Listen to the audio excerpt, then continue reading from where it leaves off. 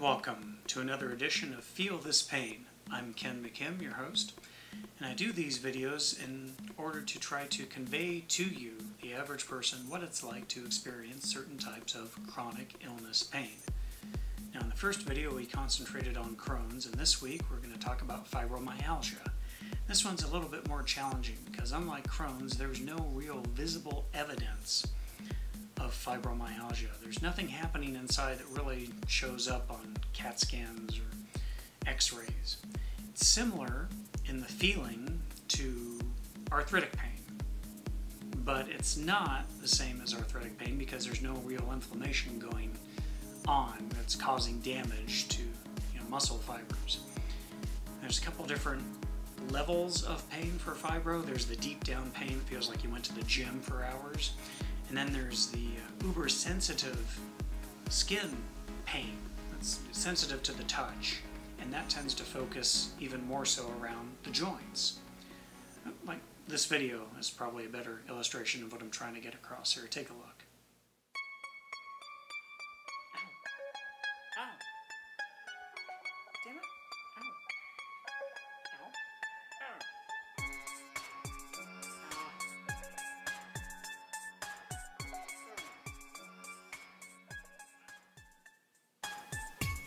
Don't look sick.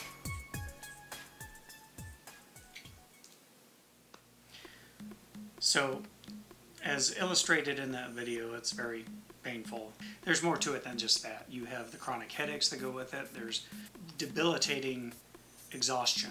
And we're not just talking about, oh, I didn't sleep good for a few hours last night, I'm kind of tired today. No, we're talking about waking up and feeling like you just swam the first leg of a triathlon.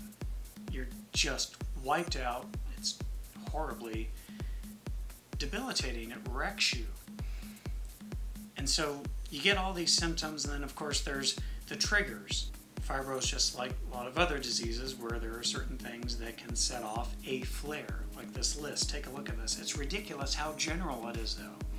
You've got cold or humid weather can trigger it, too much or too little physical activity can trigger it, stress, poor sleep, and of course, as you review this list, you might realize that all of these are side effects of the disease itself, so you really are caught up in this horrible, vicious cycle of pain that just doesn't end. And again, there's no one size fits all treatment, there's no cure for this. Different people have different results with diets, exercise or not exercise, or this medication or that.